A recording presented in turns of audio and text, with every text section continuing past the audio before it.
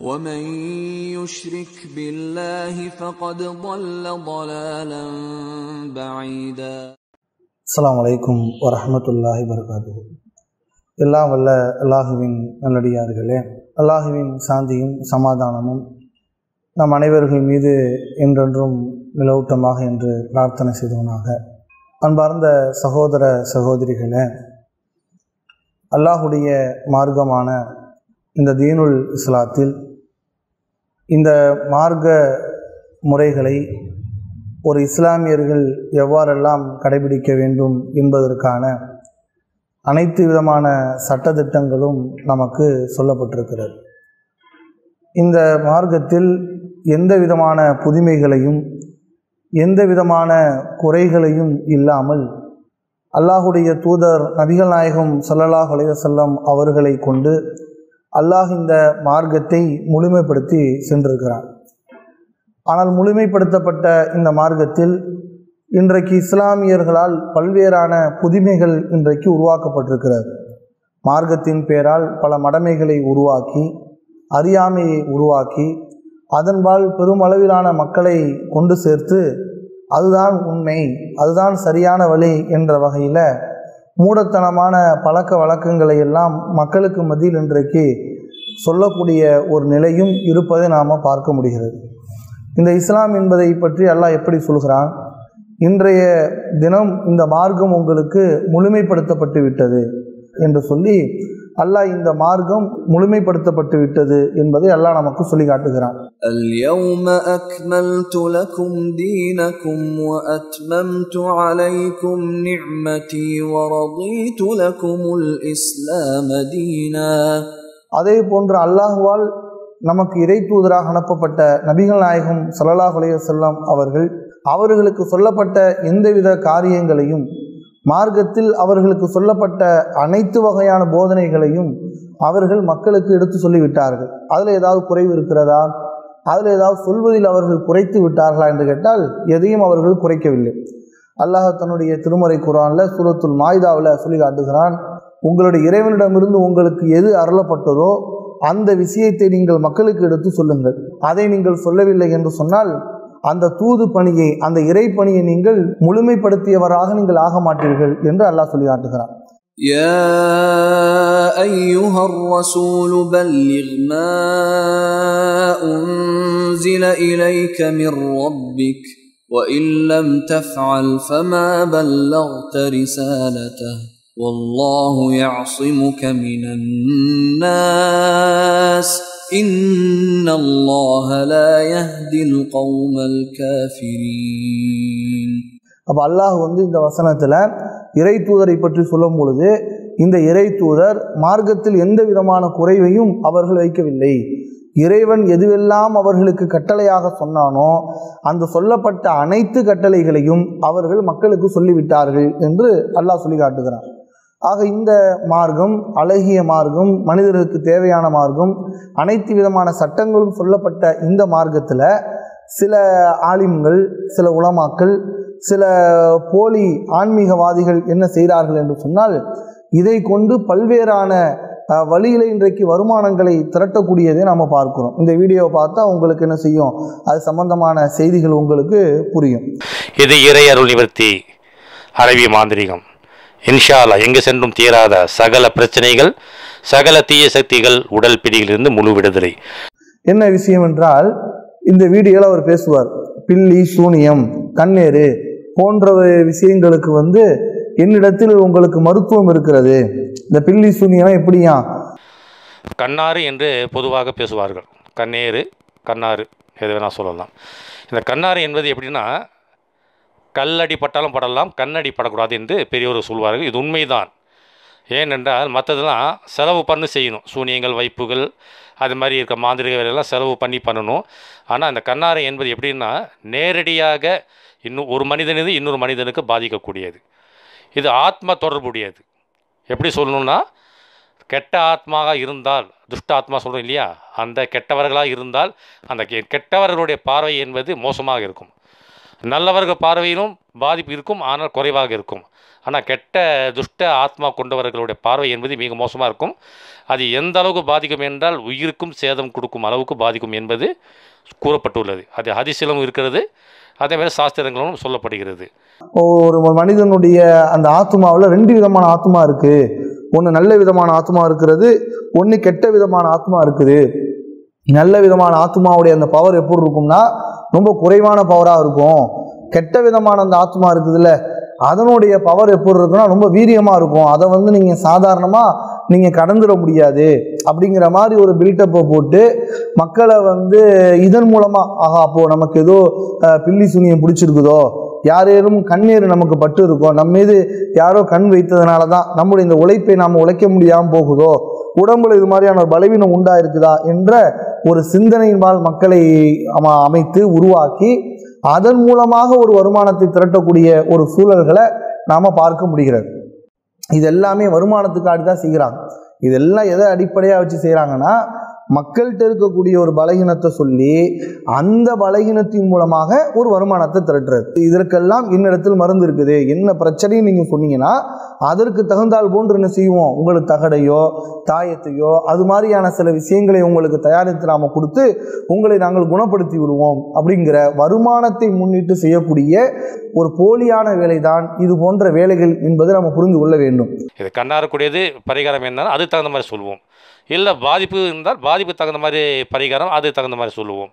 அவர்கள் விஷயங்கள் பேர்கள் அவருக்கு ஏற்படக்கூடிய இந்த விஷயங்கள் தெளிவாக சொல்லி கேட்டால் அதுக்கு தகுந்த மாதிரி நம்ம வந்து பரிகாரம் பண்ணி கொள்ளலாம். அனைத்துக்கும் நிவர்த்தி உண்டு. அல்லாஹ் இதை குறித்து நமக்கு என்ன சொல்கிறான்? கண்ணால் யாருக்கும் பாதிப்பு உருவாக்க முடியுமா? ஒரு கண் இருக்குது. கண்ணால் என்ன செய்ய முடியும்? ஒரு அழகை ரசிக்கலாம்.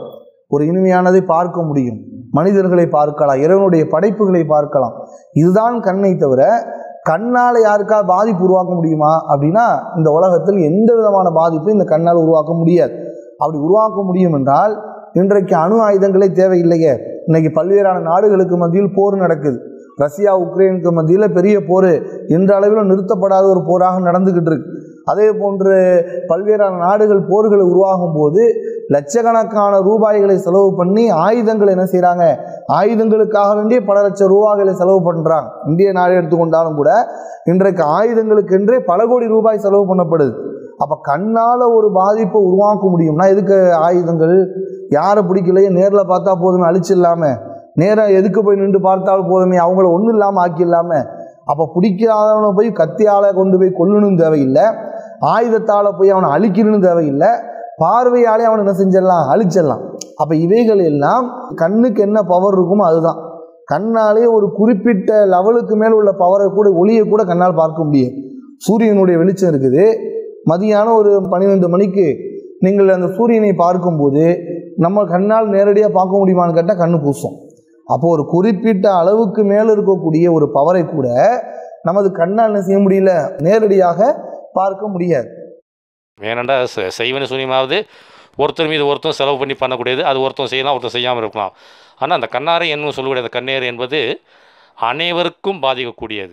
இதிலிருந்து விடுதலை பெறதுக்கு வழிகள் இருக்குது அது இஸ்மு என்ன சொல்லும் நாம் வந்து அதுக்கு சரியான கண்ணாருக்கு அது கண்ணாருக்குடிய அந்த இஸ்முகளை எடுத்து எழுதி அது நம்ம வந்து ஜிக்கில் வைத்து ஹாசிலாத் வாசலில் பண்ணி அது முறையாக நம்ம இடமிருந்து வாங்கி வாசலில் வைத்தோம் என்றால் வரக்கூடிய அத்தனை விதமான அது கண்ணாறு ஓமல் கந்திஷ்டிகள் அனைத்துக்கும் அது என்பது ஒரு பரிபூர்ண ஒரு பாதுகாப்பாக இருக்கும்.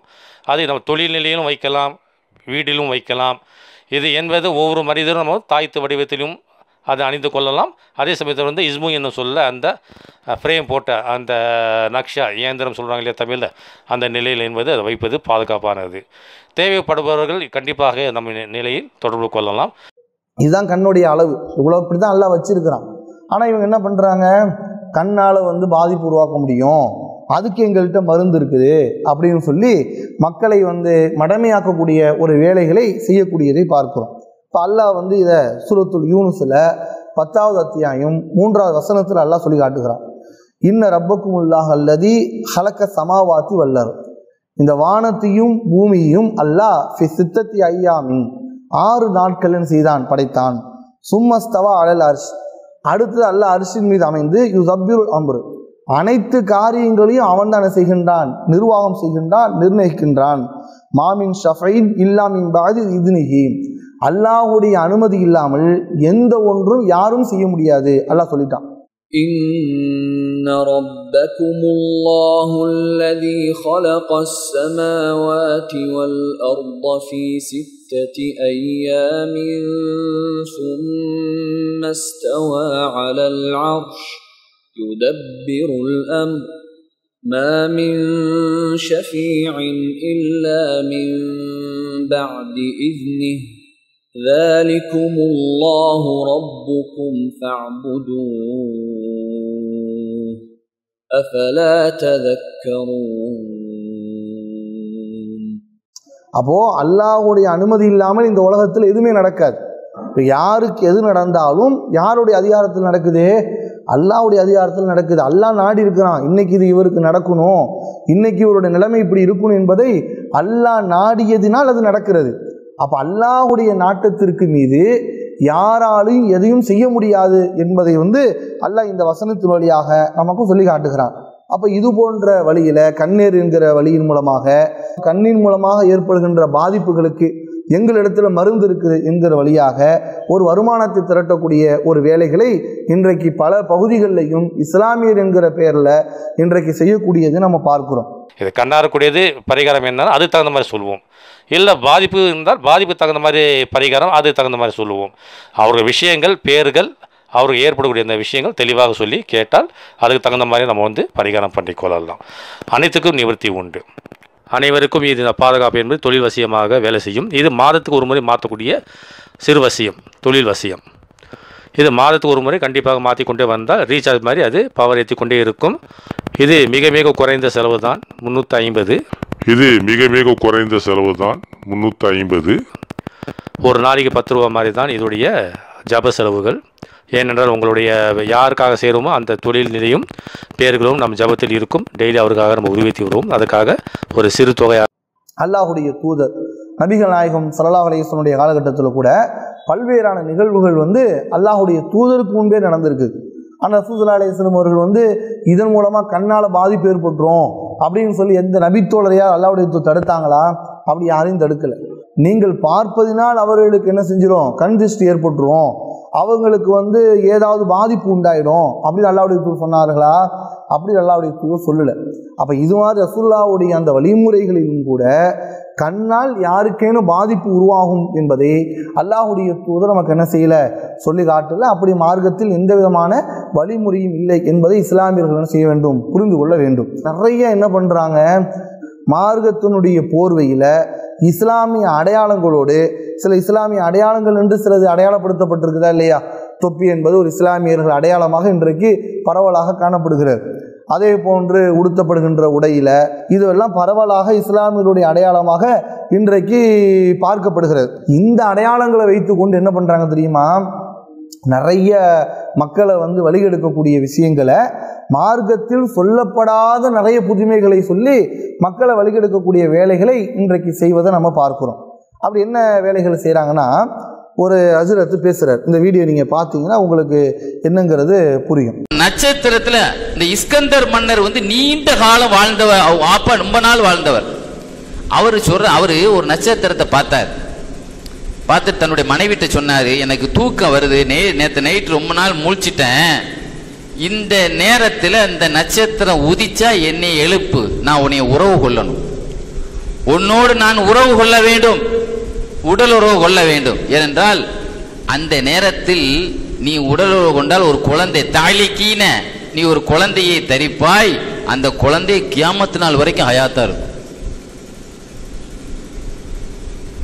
அந்த இந்த நட்சத்திரம் உதிக்கிற இந்த நேரத்தில் கூடணும். அதை நான் அப்படின்னு சொன்னார். ஆனால் அவருடைய மனைவி எழுப்பலை. அவர் தூங்கிட்டார் எழுப்பலை. இதை அவருடைய சகோதரி கவனிச்சுக்கிட்டு இருந்தா. தன்னுடைய அக்காவிடத்துல இஸ்கந்தருடைய வாப்பா சொல்றத அவருடைய சகோதரி கவனிச்சுக்கிட்டு அவர் தூங்கிட்டார். தன்னுடைய கணவரை எழுப்பி இந்த நேரத்தில் நீங்க என்னோடு கூடுங்க. இந்த நேரத்தில் பிறக்கிற அந்த நட்சத்திரம் உதிக்கிற இந்த நேரத்தில் ஒரு குழந்தை பிறக்க இருக்கிறது. அந்த குழந்தை வந்து பிறந்துட்டா கியாமத்து நாள் வரைக்கும் இருக்கு அவர் கூடிட்டார். ஹிந்தில் அலி இஸ்லாத்துடைய வாப்பா. அவருங்க ஹிந்தில் அலி இஸ்லாத்துடைய வாப்பா தானே? அவர் முழிச்சு பார்க்கறாரு. முழிச்சு பார்த்துட்டு சொன்னாரு அந்த நட்சத்திரம் வேற இடத்தில் திசை மாறி இருப்பதை பார்த்துட்டு கேட்டாரு. என்னம்மா இந்த வேலை பார்த்தேன் தேவையில்லாத ஒரு வேலையை பார்த்துட்டியே நான் நாற்பது வருஷமால கவனிச்சுக்கிட்டே வந்தேன். நாற்பது வருஷமா பார்த்துட்டோன்னா அப்புறம் ரொம்ப நாள் நீண்ட ஆயுள் பெற்றவரும்பதனால தான் அது தெரியுது. நீ தேவையில்லாம வேலை பார்த்துட்டியே. சரி இப்போ ஒன்றும் பிரச்சனை இல்லை. அதுக்கு அடுத்த நிமிஷம் இன்னொரு நட்சத்திரம் உதிக்கிறது. அந்த நேரத்தில் நம்ம கூடினால் அதில் ஒரு குழந்தை தரிக்கும். அந்த குழந்தை கிழக்கு திசையிலிருந்து மேற்கு திசை வரைக்கும் ஆட்சியை பிடிக்கும். அதுதான் துல்கர்ணர் மன்னர் அதுலதான் அவர் கூட பிறந்தது தான் துல்கர்ணர் மன்னர் என்னன்னா இஸ்கந்தர் அப்படிங்கிற ஒரு ஆன்மீகவாதி என்ன பண்றாருன்னா அவர் வந்து தன்னுடைய மனைவிடத்துல சொன்னாராம் இன்றைய இரவு இத்தனை மணிக்கு ஒரு இந்த இரவில் ஒரு நட்சத்திரம் ஒன்று தென்படும். அந்த நட்சத்திரத்தை தென்படும் பொழுது நீ என்ன என்ன செஞ்சிரு? நான் தூங்கி இருந்தாலும் என்னை எழுப்பி விட்டுரு. அப்போது நாம் உறவு வைத்து கொண்டால் நமக்கு பிறக்கின்ற அந்த பிள்ளை வந்து கியாமத்து நாள் வரைக்கும் இருக்கும். அப்படின்னு தன்னுடைய மனைவி கிட்ட அந்த இஸ்கந்தருங்கிறவர் சொல்லிட்டு அவர் தூங்கிட்டார். அவங்களுடைய மனைவி என்ன பண்ணிடுறாங்க? தூங்கிடுறாங்க. அன்னைக்கு எந்திரிக்காம நட்சத்திரத்தை பார்க்காம தூங்கிடுறாங்க. இதை பார்த்துக்கிட்டு இருந்த அவங்களுடைய சகோதரி என்ன பண்ணிட்டாங்கன்னா அவருடைய கணவர்கிட்ட போய் இதை சொல்லி அவங்க அன்றைய தினம் உறவு கொண்டு உறவு கொண்ட செய்தியை வந்து அவருடைய நிஸ்கந்தருங்கிறவர் இன்னைக்கு இந்த மாதிரி பண்ணிட்டீங்களா? தப்பு பண்ணிட்டீங்க. அந்த நட்சத்திரம் வந்து என்ன ஆயிடுச்சு? கொஞ்சம் தள்ளி போயிடுச்சு. அதனால் வந்து நீங்கள் நினச்ச மாதிரியான குழந்தை இன்னைக்கு பிறக்காது. அப்படிங்கிற ஒரு கட்டுக்கதைகளை வந்து மார்க்கத்தின் பெயரால் எப்படி அதை திணிக்கிறாங்க பாருங்கள் அப்போ எந்த மாதிரியான ஒரு நம்பிக்கையவர்கள் மக்களுக்கு மத்தியில் திணிக்கிறார்கள்? நட்சத்திரத்தை பார்த்து அதன் மூலமாக உறவு கொண்டா பிள்ளை வந்து பிறக்கும் அப்படிங்கிற ஒரு ஒரு சிந்தனையை மக்களுக்கு மத்தியில் என்ன செய்கிறாங்க பதிய வைக்கிறாங்க. இப்போ இது வந்து மார்க்கத்தில் நட்சத்திரத்தை அடிப்படையாக கொண்டு தான் ஒரு குழந்தை பிறக்குதான்னு கேட்டால் இல்லை. அது இன்றைக்கி மருத்துவத்துறையில் பார்த்தீங்கனாலும் கூட அது பெரிய வருமானமாகவே இன்றைக்கு திரட்டக்கூடியதை பார்க்க முடியாது. அது ஒரு வருமானமாகவே இன்றைக்கி பார்க்கக்கூடியதை பார்க்குறோம். அப்போ குழந்தை என்பது அல்லாஹ் எப்படி வைத்திருக்கிறான்? அந்த பாக்கியத்தை அல்லாஹ் எப்படி வச்சிருக்கிறான்? لله ملك السماوات والأرض يخلق ما يشاء يهب لمن يشاء إناثا ويهب لمن يشاء الذكور أو يزوجهم ذكرانا وإناثا. ويجعل من يشاء عقيما إنه عليم قدير தர்காக்கள் உருவாக்கப்பட்டதனுடைய வரலாறுகளே பார்த்தீங்கன்னா இன்னைக்கு தர்காக்களில் கூடுற அதிகமான மக்கள் எதனால் கூடுறாங்க எல்லாமே இந்த குழந்தை பாக்கியத்தை கேட்டு தான் கூடுறாங்க எல்லா ஒரு தர்காவுடைய வரலாறுகளையும் பாருங்கள் எல்லா தர்காவுடைய வரலாறும் அவுளியா என்று சொல்லப்படுவர்களுடைய அதிசய வரலாறுகள் இதெல்லாம் நீங்கள் பார்த்தீங்கன்னா எல்லாம் என்னத்தை சொல்லுவாங்க? இவங்களிடத்தில் நாங்கள் வந்தோம் எங்களுக்கு குழந்தை பாக்கியம் கிடைத்து விட்டது எனக்கு குழந்தை கிடைத்து விட்டது அப்படிங்கிற ஒரு நம்பிக்கையை வந்து மக்கள்கிட்ட விதைச்சி தான் இன்னைக்கு தர்காக்களில் வந்து பெரிய அளவுக்கு மக்களை வந்து கூட்டங்களை சேர்க்கக்கூடிய ஒரு வேலைகளை பார்க்குறாங்க. அந்த குழந்தை பாக்கியம் என்பது வந்து ஒரு நட்சத்திரத்தின் மூலமாகவோ அல்லது யாரேனும் ஒரு அவுளியாவனுடைய அற்புதத்தின் மூலமாகவோ அல்லாஹ் கொடுக்குறானான்னு கேட்டால் அப்படி என்னது இல்லை. அப்படி வரங்க வ- தருவது கிடையாது. எப்படி தான் அது வருது? அல்லாஹ் யார் மூலமாக அதை உருவாக்குகின்றான் அப்படின்னா அது அல்லாஹுடைய கண்ட்ரோலில் உள்ளது. அது அல்லாஹுடைய அதிகாரத்தில் உள்ளது. அல்லாஹ் வந்து தன்னுடைய திருமுறை குரானில் நாற்பத்தி ரெண்டாவது அத்தியாயம் நாற்பத்தி ஒன்பதாவது வசனத்தில் அல்லாஹ் சொல்லி காட்டுகிறான். யஹபுலிமை யஷாவு இனாசும் நான் நாடியவர்களுக்கு பெண் குழந்தையை கொடுக்கின்றேன். யஹபுல் இமா யஷாவு துக்குரா நான் நாடியவர்களுக்கு ஆண் குழந்தைகளை கொடுக்கின்றேன் நான் நாடியவர்களுக்கு ஆண் பெண் இரண்டு குழந்தைகளையும் சேர்த்து கொடுக்கின்றேன் தான் நாடியவர்களை எஜாலுமை யஷாவு அகீமா நான் நாடியவர்களை மலட்டுத்தன்மை கொண்டவர்களாக நான் விட்டுறேன் لله ملك السماوات والأرض يخلق ما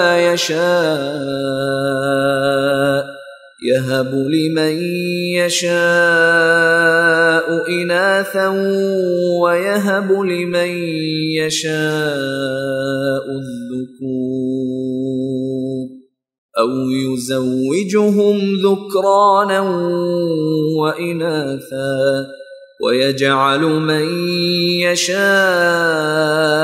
عقيما إنه عليم قدير அப்போ அல்லாஹ் இது என்ன சொல்கிறான் அல்லாஹுடைய அதிகாரத்தில் உள்ளது அவன் அல்லாஹ் யாருக்கு நாடுறானோ அவனுக்கு ஆண் குழந்தையை கொடுக்குறான் அல்லாஹ் நாடியவர்களுக்கு பெண் குழந்தையை கொடுக்குறான் இரண்டையும் சேர்த்து கூட என்ன செய்கின்றான் அல்லாஹ் ரெண்டு குழந்தையும் கொடுக்கக்கூடியவனாக இருக்கிறான் அல்லது குழந்தை இல்லாமல் கூட என்ன செஞ்சுகிறான் அல்லாஹ் அவர்களை விட்டு விடுகிறான் இது அல்லாஹ்வுடைய அதிகாரத்தில் உள்ளது நபிமார்களை ஒவ்வொரு நபிமாருடைய வரலாறுகளை இங்கே எடுத்து பாருங்க ஜக்கரியா அலைஹிஸ்ஸலாம் அவர்கள் ஜக்கரியா அலையம் அவர்கள் வந்து அல்லாஹுடத்தில் துவா செய்கிறாங்க என்னுடைய உடம்பும் பலவீனம் அடைந்து விட்டது.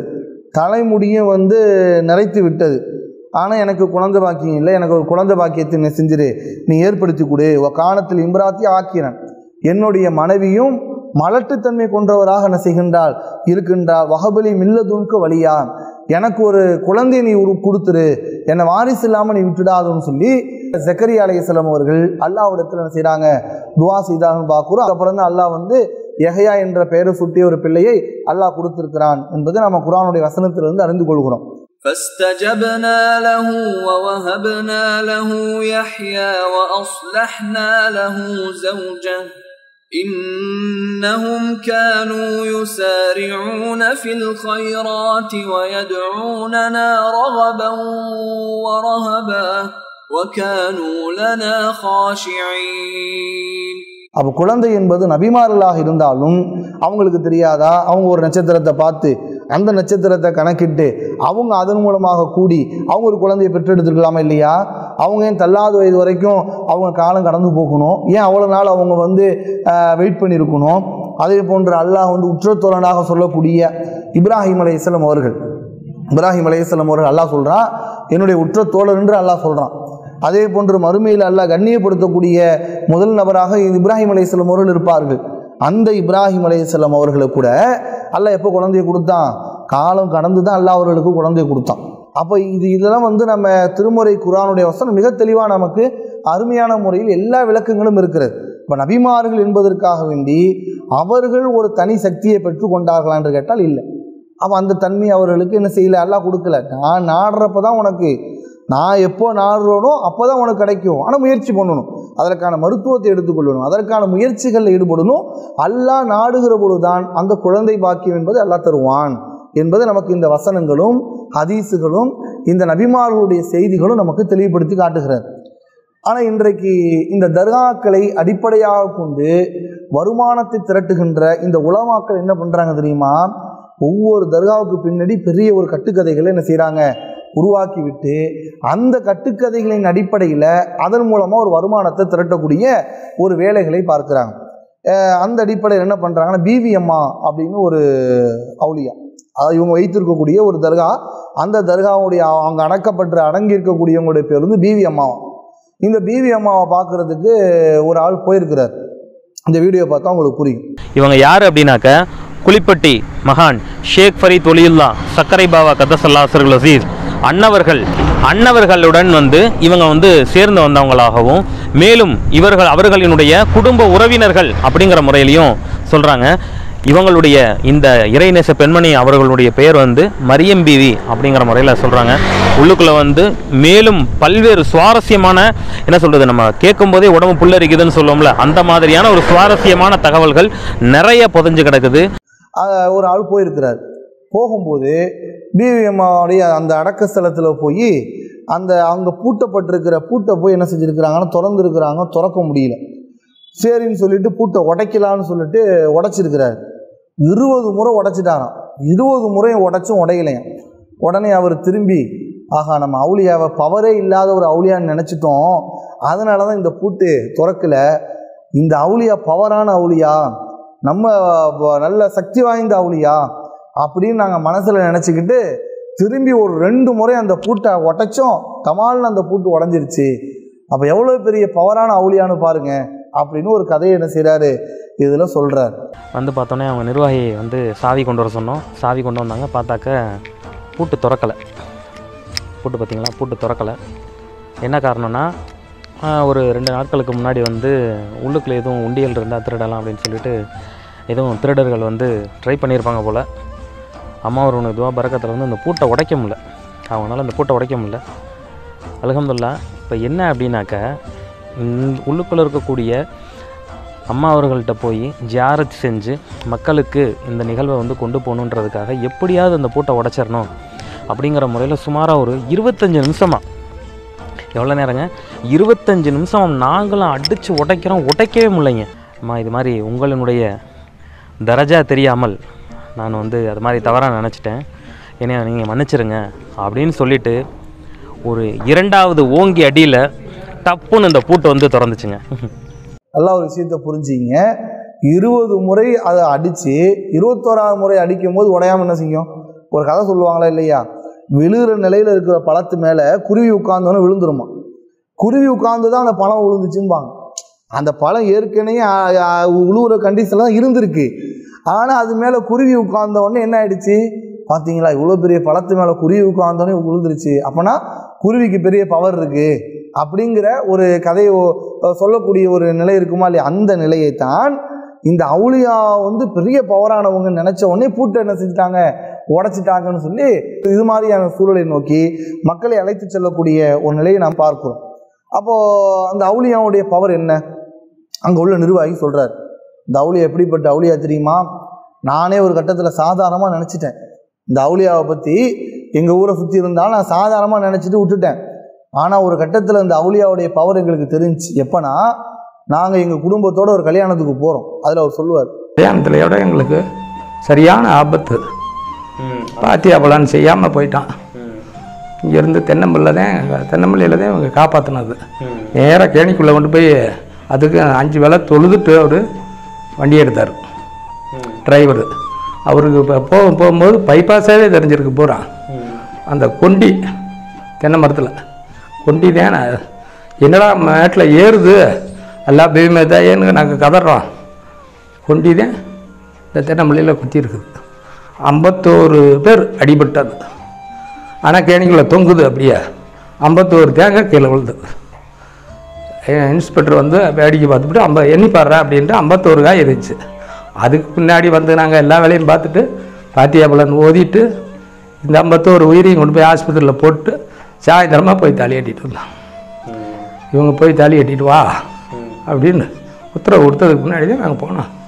மொத்தத்துக்கு அதாவது கேஸ் சம்மந்தப்பட்ட விஷயங்களுக்கு வந்து இவங்க ரொம்ப சிறந்தவன்ற மாதிரி நினைக்கிறேன். அப்படியா? கேஸ் சம்மந்தப்பட்ட எல்லா எல்லாத்துமே தெருவு காணுவாங்க எல்லாத்தையுமே. இப்போ எத்தனையோ பேர் வந்து குழந்தை பாக்கியம்லாம் கேட்டு நல்லபடியாக வந்திருக்குன்னு வந்து பாத்தியாபலன் செஞ்சுட்டு போவாங்க. நாங்கள் வந்து காசு பணம்லாம் நீங்கள் ஒன்றும் செய்யாதுன்னா உங்கள் இதில் வந்து பாத்தியாபலன் செஞ்சு உங்கள் மனசில் என்ன நினைக்கிறீங்களோ அதை செய்யுங்க. குடும்பத்தோட நாங்கள் கல்யாணத்துக்கு போகிறோம் பார்த்தா டிரைவர் வந்து ஏதோ பைபாஸில் போகிற மாதிரி ஹைவேல போகிற மாதிரி போய்கிட்டே இருக்கார். திடீர்னு பார்த்தா ஒரு தென்னை மரத்து மேலே போய் இந்த வேனு போய் முட்டிடுச்சு. முட்டின உடனே கிட்டத்தட்ட ஒரு ஐம்பத்தோரு தேங்காய் எங்களுடைய தலையில் விழுந்துச்சு. ஐம்பத்தோரு ஆட்கள் என்ன செஞ்சாங்க? கடுமையாக காயப்பட்டாங்க.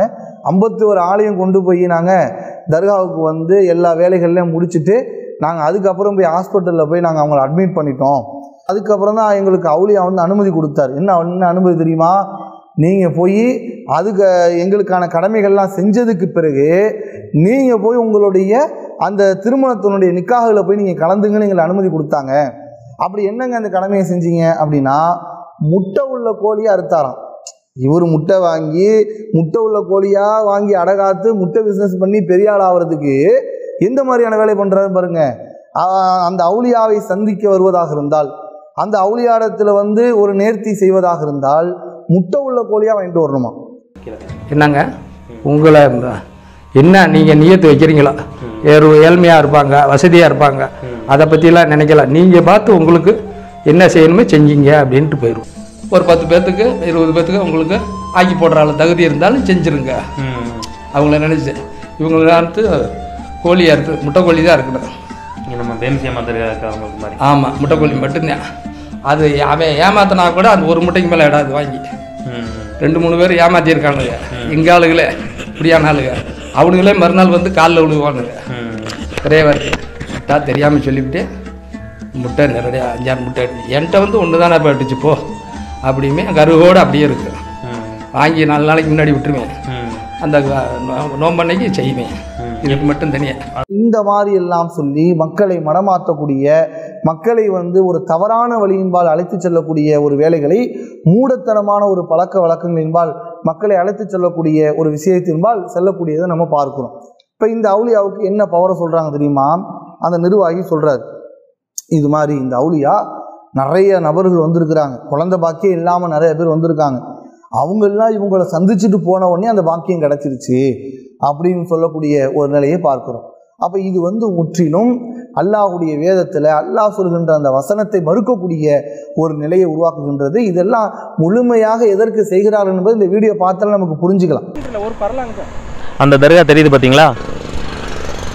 இப்போ நம்ம அங்கே தான் நம்ம ஜியாரத் பண்ண போகிறோம் அதனுடைய இட அமைப்பே வந்து ஒரு காடு போன்று தான் காணப்படுது. இதில் உங்களுக்கு இன்னொரு விஷயம் தெரியுங்களா? இவங்க யார் அப்படின்னாக்க குளிப்பட்டி மகான் ஷேக் ஃபரீத் ஒலியுல்லா சக்கரை பாவா கதசல்லாசர்கள் அசீஸ். என்னதுக்கு செய்கிறான் எல்லாம் வருமானம். இதை இதை கொண்டு ஒரு வருமானம். கா ஆளே இல்லாத ஒரு காட்டுக்குள்ளே யாருக்கு டீ யாத்திரான்னு கேட்போமா இல்லையா? அது மாதிரி ஒரு காட்டுக்குள்ளே ஒரு தர்காவை வச்சுக்கிட்டு அந்த தர்காவை ஒரு நிர்வகிக்கிறான்னு சொன்னால் என்ன காரணம்? இதை வச்சு ஒரு வருமானத்தை திரட்டணும். இதன் மூலமாக ஒரு ஆதாயத்தை நாம் திரட்டி கொள்ள வேண்டும் என்கிற நிலையில்தான் இந்த தர்காக்கள் எல்லாம் இன்றைக்கு இயங்கி கொண்டிருக்கிறது என்பதை நாம் இதன் மூலமாக நாம் பார்க்கின்றோம். எனவே இந்த அவுளியாக்களின் மூலமாகத்தான் ஒருவருக்கு குழந்தை பாக்கம் உண்டாகிறது.